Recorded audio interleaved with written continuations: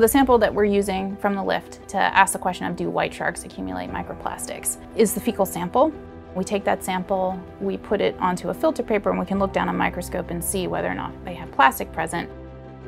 Every white shark that we've looked at so far does have microplastics present in their fecal sample.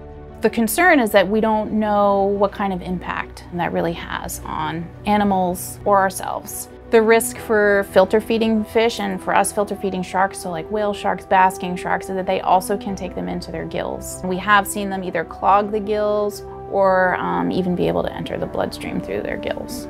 With microplastics, one of the other concerns with them is that they can actually absorb other environmental pollutants because of their size and, and charge and accumulate those as well. So you're not just taking in this plastic, you're taking in anything that's stuck to that plastic and it's getting inside you and accumulating.